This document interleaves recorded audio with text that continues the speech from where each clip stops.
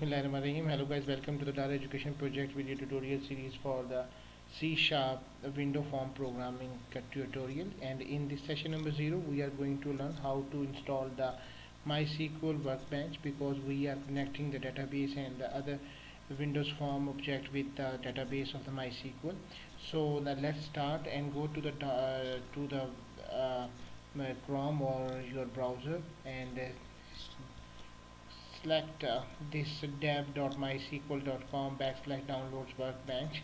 And here you will need to uh, download the uh, MySQL workbench 6.3.0 10 and it was almost 28.2 uh, MBs and I am going to download it. And uh, I since my have the uh, uh, 64 bits so you can sign up using uh, my Oracle no thanks just start my download. And uh, it will just start downloading your uh, MySQL workbench just wait for a time and I'm going to pause this video. Okay our download is completed and now we will open this file and uh, just wait for that and the prepare to install a Windows installers will automatically run and MySQL the Visual requires Visual C++ redistributed package. If you are not already installed it then it will automatically install it. Uh, then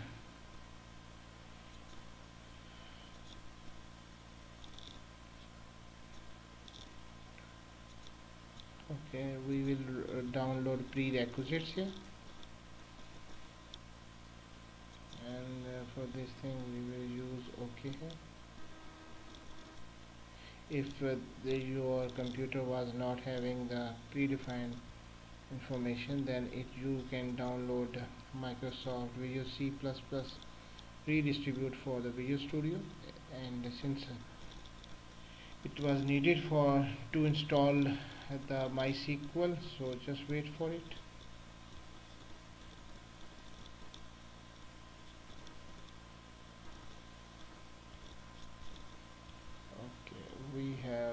download option. The size of the file was 13.9 MB and uh, we use 64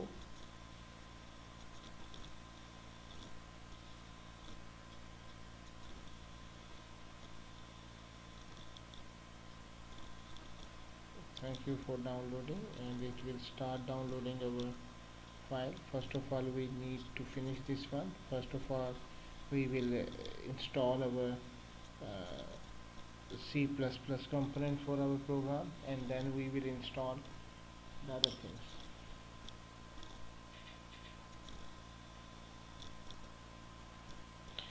So if your computer was not installed the prerequisites then this workbench uh, was not working. So you should need to install the prerequisites first.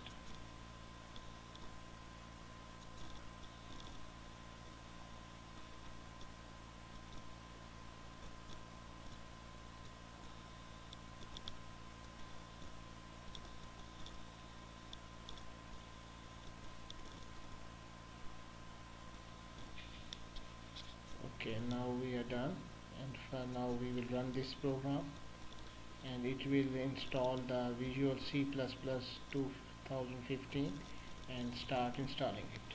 Okay, yes for it. It will start processing.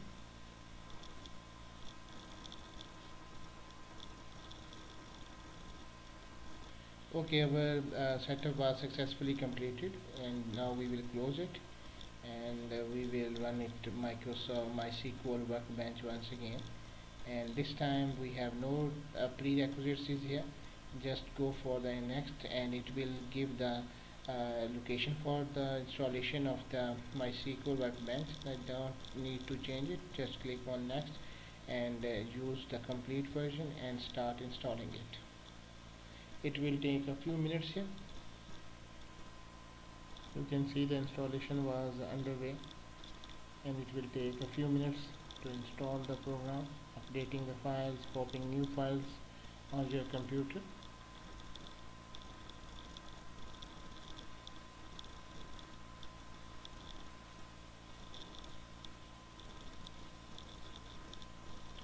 Okay finally our program was completed successfully. Setup has finished installing MySQL workbench and now we will just click on finish and it will uh, open the MySQL uh, workbench for us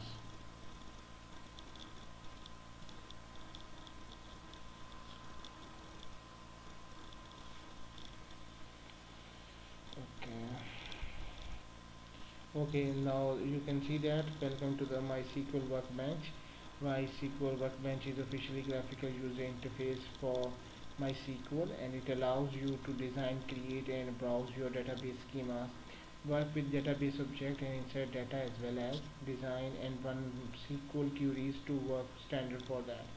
So you can run this and the local instances for the MySQL. It will be a root here and uh, you just click on it.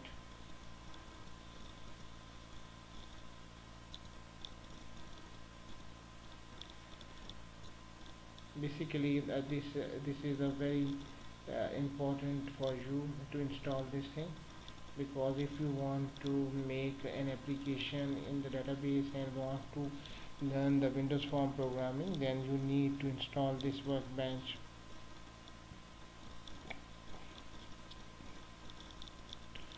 okay so this is the interface for our program and here you can create uh, your databases and uh,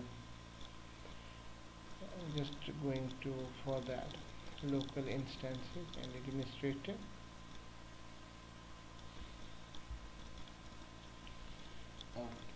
so you can see that this interface informs you that uh, the host and the information and everything about the uh, server status. It was stopped and CPU connections you can start it and refresh it according to your need.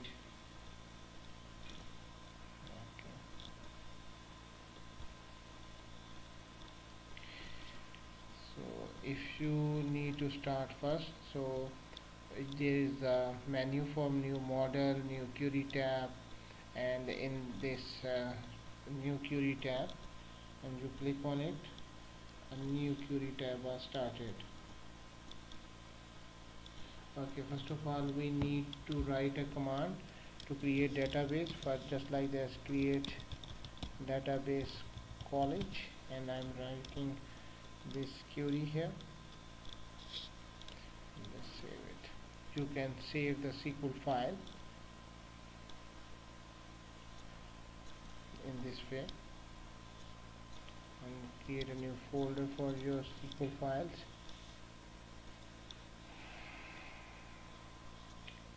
SQL files.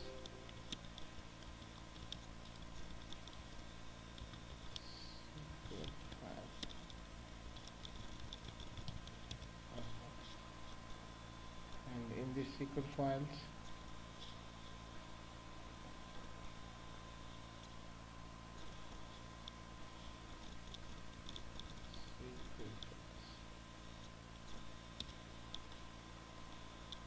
my first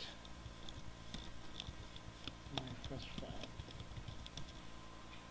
Okay you can save it.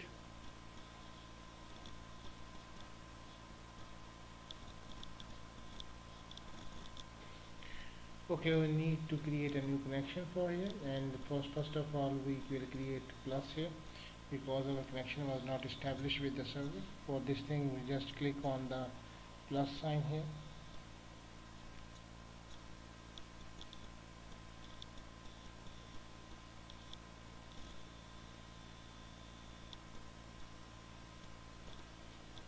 it will open a new window for you.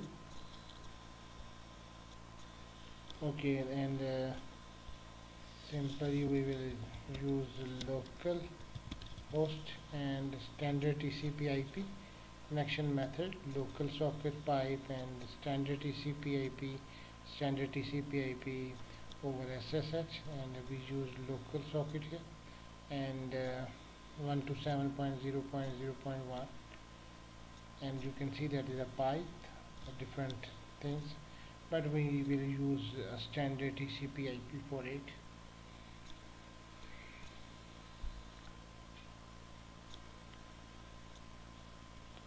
Okay now I'm using a username SAF and use my password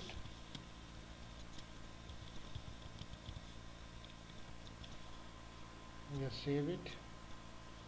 And now we need to test connection here.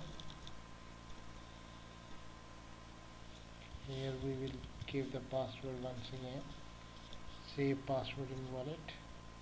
So we don't need to give okay access net for user using password.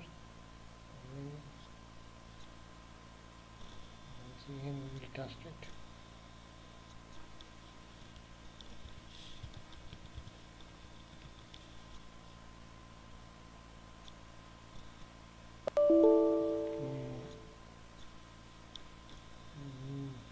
are missing I think we will clear it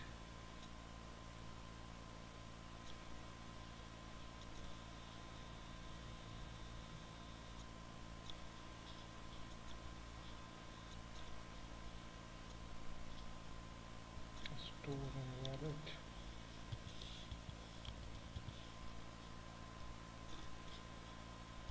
Now test it again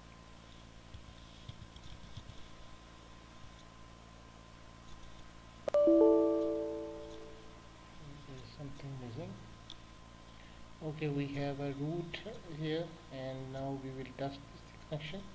And information related to that successfully made to the MySQL connection. Successfully MySQL connection was connected here.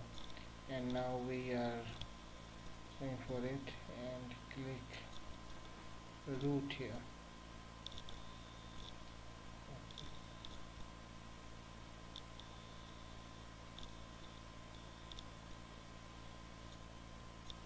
okay you can see that the connection was established successfully and we have all our databases stored here. So if you want to create a connection then uh, in the next lecture we are going to discuss the different things about how to create the database and how to create the connection and other things. Thank you very much for watching this tutorial and Allah